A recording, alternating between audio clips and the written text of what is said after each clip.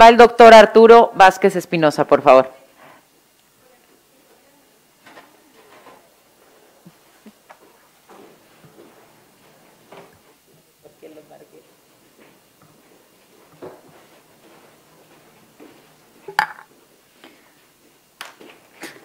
Bienvenido a este Poder Legislativo. Gracias por estar en esta lista de aspirantes a participar por este cargo y tiene usted hasta tres minutos para eh, hacer uso de la voz. Muchas gracias, diputadas y diputados integrantes de esta honorable Comisión Parlamentaria de la decimosexta legislatura del Congreso del Estado de Quintana Roo. En lo personal, es muy grato tener una visita a esta comisión aspirando a ser titular del órgano interno de control de la Fiscalía General de Justicia del Estado. Mi experiencia personal se configura en cuatro vectores importantes. El primero, 13 años del servicio público en entidades de fiscalización y control gubernamental, en los cuales he sido partícipe desde la planeación, ejecución de auditorías y en donde he formado parte de grupos revisores de informes de auditoría, seguimiento de recomendaciones y promoción de acciones. He sido partícipe en la génesis de proyectos de reformas constitucionales federales, tanto en el ámbito de fiscalización gubernamental y fiscalización de 2010, de combate a la corrupción y responsabilidad de servidores públicos en 2015 y su respectiva homologación en los marcos jurídicos de la Ciudad de México y diversos estados de la República. Como experiencia personal en el ámbito de la fiscalización, he tenido a mi cargo direcciones generales de auditoría en materia de obra pública, desempeño, financiera y legalidad al sector central, básicamente en la Ciudad de México, así como he sido asesor de algunas entidades de fiscalización foráneas. En los logros personales he logrado impulsar el fincamiento de responsabilidades, consolidando el resarcimiento del patrimonio público. Así también, derivado del análisis de los diversos resultados que aporta el crisol de las auditorías que estuvieron a mi cargo, tengo la satisfacción de haber propuesto cambios en iniciativas de ley y dictaminación correspondientes para la mejora de la gestión pública. En lo personal, hemos impulsado en la academia una nueva mística de servicio público, en el cual yo estoy convencido que la prevención es una de las vertientes fundamentales para mejorar ese cambio de cultura que hoy demanda nuestro país. Capacitando a los servidores públicos, estando atentos en la implementación y evaluación constante de controles internos, podemos consolidar de manera adelantada las áreas de oportunidad que demandan las instituciones.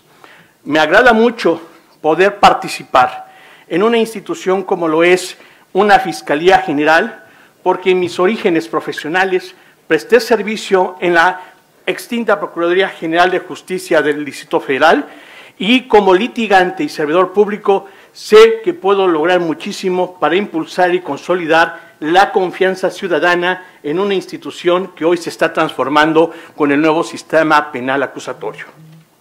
Muchas gracias. Muchas gracias. Diputadas, diputados, quien desea hacer uso de la voz. Adelante, diputado Edgar Gasca. Bienvenido, doctor, a esta su casa, el Poder Legislativo. Eh, veo dentro de la documentación que usted hizo el favor de anexar para eh, aspirar a este cargo, eh, donde nos describe sus toda su, experiencia docente, académica y profesional. Mucha de ella, o la gran mayoría, es en la Ciudad de México. Mm, eh, algunos, algunas personas nos están preguntando cuánto tiempo lleva radicando aquí en Quintana Roo. Y mi pregunta en concreto sería, ¿por qué el órgano interno de la Fiscalía General? No tengo tiempo radicando, he venido a visitar, he impartido conferencias, he sido asesor de algunas instancias. ¿Y por qué me interesa, primero, el estado de Quintana Roo? Es un estado que yo conocí desde la edad de seis años, que me he comprometido y que le he dado seguimiento a muchas de las evoluciones de sus instituciones.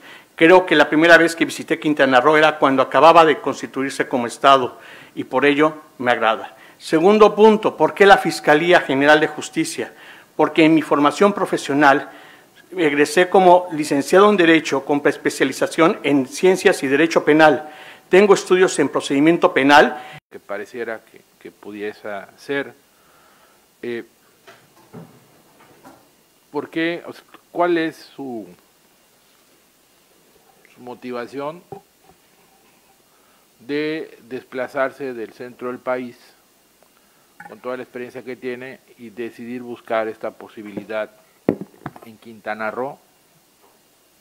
Primero en Quintana Roo, porque independientemente de que sea la fiscalía, pues es cambiar incluso de lugar de residencia. Entonces, primero, ¿por qué Quintana Roo? Y pues segundo sería el tema de la fiscalía. Pero yo más bien preguntaría, más me interesa es por qué hacia Quintana Roo. Primer punto, ¿por qué Quintana Roo? La Ciudad de México ya es una situación que yo conozco mucho, que ya el tráfico, el tránsito, la cuestión de sismos, la cuestión de lluvias, demanda también un cambio de vida.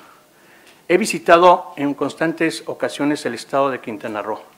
Me agrada su clima, me fascina la calma, puedo caminar con serenidad en sus calles en la mañana o en la noche. Y otro punto, me he identificado mucho con la gente de Quintana Roo. Gracias.